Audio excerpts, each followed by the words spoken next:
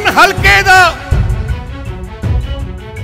ਆਉਣ ਵਾਲੇ ਇਲੈਕਸ਼ਨ ਚ ਲੜਨ ਵਾਸਤੇ ਕਿਹੜਾ ਉਮੀਦਵਾਰ ਤੁਹਾਨੂੰ ਚਾਹੀਦਾ ਪੰਜਾਬ ਟੁਡੇ ਦੇਖ ਰਹੇ ਹੋ ਤੁਸੀਂ, ਮੈਂ ਡਾਕਟਰ ਜਿੰਦਰ ਸਿੰਘ, ਵੱਡੀ ਖਬਰ ਆ ਰਹੀ ਹੈ। ਸ਼੍ਰੋਮਣੀ ਅਕਾਲੀ ਦਲ ਨੇ ਆਪਣੇ ਇੱਕ ਹੋਰ ਉਮੀਦਵਾਰ ਦਾ ਅੱਜ ਐਲਾਨ ਕਰ ਦਿੱਤਾ ਹੈ। ਸੁਖਬੀਰ ਸਿੰਘ ਬਾਦਲ ਨੇ ਖੇਮਕਨ ਹਲਕੇ ਵਿੱਚ ਕਾਂਗਰਸ ਦੇ ਖਿਲਾਫ ਰੱਖੀ ਵੱਡੀ ਰੈਲੀ ਨੂੰ ਸੰਬੋਧਨ ਕਰਨ ਤੋਂ ਬਾਅਦ ਵਿਰਸਾ ਸਿੰਘ ਬਲਟੋਹਾ ਨੂੰ ਆਪਣਾ ਉਮੀਦਵਾਰ ਐਲਾਨਿਆ ਹੈ। ਤੁਹਾਨੂੰ ਦੱਸ ਦਈਏ ਕਿ ਇਸ ਤੋਂ ਪਹਿਲਾਂ ਲੰਗੇ ਦਿਨੀ ਸੁਖਬੀਰ ਸਿੰਘ ਬਾਦਲ ਨੇ ਜਲਾਲਾਬਾਦ ਹਲਕੇ ਤੋਂ ਖੁਦ ਨੂੰ ਅਕਾਲੀ ਦਲ ਦਾ ਉਮੀਦਵਾਰ ਐਲਾਨਿਆ ਸੀ। ਅੱਜ ਦੂਸਰੀ ਟਿਕਟ ਦਾ ਐਲਾਨ ਕੀਤਾ ਗਿਆ ਹੈ। ਖੇਮਕਰਨ ਵਿਧਾਨ ਸਭਾ ਹਲਕੇ ਵਿੱਚ ਪਿਛਲੇ ਕੁਝ ਦਿਨਾਂ ਤੋਂ ਸਿਆਸੀ ਗਲਿਆਰਿਆਂ 'ਚ ਚਰਚਾ ਚੱਲ ਰਹੀ ਸੀ ਕਿ ਕੈਰੋ ਪਰਿਵਾਰ ਸ਼ਾਇਦ ਖੇਮਕਰਨ ਹਲਕੇ ਵਿੱਚ ਇਸ ਵਾਰ ਚੋਣ ਲੜੇਗਾ ਤੇ ਇਸ ਨੂੰ ਲੈ ਕੇ ਵਿਰਸਾ ਸਿੰਘ ਵਲਟੋਹਾ ਤੇ ਕੈਰੋ ਪਰਿਵਾਰ ਦੇ ਦਰਮਿਆਨ ਸਿਆਸੀ ਜੰਗ ਵੀ ਚੱਲ ਰਹੀ ਸੀ, ਪਰ ਅੱਜ ਉਸ ਤੇ ਵਿਰਾਮ ਲਗਾ ਦਿੱਤਾ ਗਿਆ ਹੈ ਤੇ ਸੁਖਬੀਰ ਸਿੰਘ ਬਾਦਲ ਨੇ ਵਿਰਸਾ ਸਿੰਘ ਬਲਟੋਹਾ ਨੂੰ ਇੱਥੋਂ ਆਪਣਾ ਉਮੀਦਵਾਰ ਬਣਾਇਆ ਹੈ। ਤੁਹਾਨੂੰ ਦੱਸ ਦਈਏ ਕਿ ਸੁਖਬੀਰ ਸਿੰਘ ਬਾਦਲ ਅਤੇ ਵਿਕਰਮ ਸਿੰਘ ਮਜੀਠੀਆ ਨੇ ਅੱਜ ਕਾਂਗਰਸ ਦੇ ਖਿਲਾਫ ਕੀਤੀ ਰੈਲੀ ਨੂੰ ਸੰਬੋਧਨ ਕਰਨ ਦੇ ਨਾਲ-ਨਾਲ ਵਿਰਸਾ ਸਿੰਘ ਵਲਟੋਹਾ ਵੱਲੋਂ ਕਾਂਗਰਸ ਦੇ ਸਰਕਾਰ ਦੇ ਦੌਰਾਨ ਆਪਣੇ ਅਕਾਲੀ ਵਰਕਰਾਂ ਦੇ ਪਿੱਠ ਤੇ ਚਟਾਨ ਵਾਂਗ ਖੜੇ ਰਹਿਣ ਦੀ ਵੀ ਰੱਜ ਕੇ ਸ਼ਲਾਘਾ ਕੀਤੀ ਹੈ। ਇਹ ਹੋਈ ਹੈ ਅੱਜ ਅੱਜ ਆਪਣੀ ਪੰਜਾਬ ਮੰਗ ਦਾ ਜਵਾਬ ਦੀ ਦੂਜੀ ਰੈਲੀ ਹੈ। ਪਹਿਲਾ ਉਮੀਦਵਾਰ ਤਾਂ ਮੈਂ ਆਪਣੇ ਆਪ ਨੂੰ ਹੀ ਕਰਤਾ ਸੀ ਤੋ ਅੱਜ ਮੈਂ ਐਲਾਨ ਕਰਦਾ ਕਿ ਆਉਣ ਵਾਲੀ ਇਲੈਕਸ਼ਨ ਵਿੱਚ ਖੇਮ ਕਰਨ ਤੋਂ ਸ਼੍ਰੋਮਣੀ ਅਕਾਲੀ ਦਲ ਦਾ ਉਮੀਦਵਾਰ ਵਿਰਸਾ ਸਿੰਘ ਮੰਟੋਆ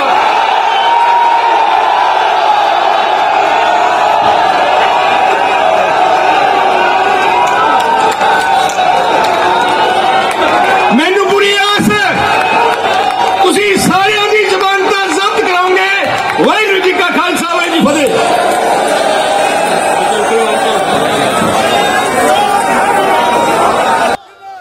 ਖੇਮਕਰਨ ਹਲਕੇ ਦਾ।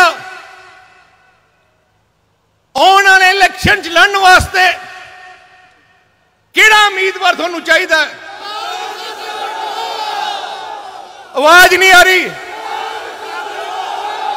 ਨਹੀਂ ਯਾਰ, ਮੈਨੂੰ ਹੋਰ ਕੋਈ ਸਮਝੀ ਜਾਂਦਾ ਮੈਂ ਕਿ? ਗੌਰਵ ਤਾਂ ਨਹੀਂ। ਅੱਜ ਅੱਜ ਆਪਣੀ ਪੰਜਾਬ ਮੰਗ ਦਾ ਜਵਾਬ ਦੀ ਦੂਜੀ ਰੈਲੀ ਹੈ। ਪਹਿਲਾ ਉਮੀਦਵਾਰ ਤਾਂ ਮੈਂ ਆਪਣੇ ਆਪ ਨੂੰ ਹੀ ਕਰਤਾ ਸੀ।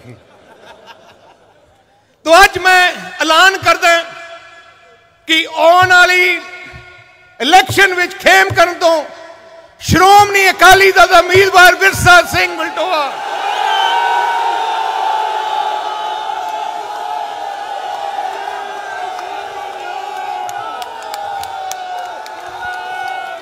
ਮੈਨੂੰ ਪੂਰੀ ਆਸ ਹੈ।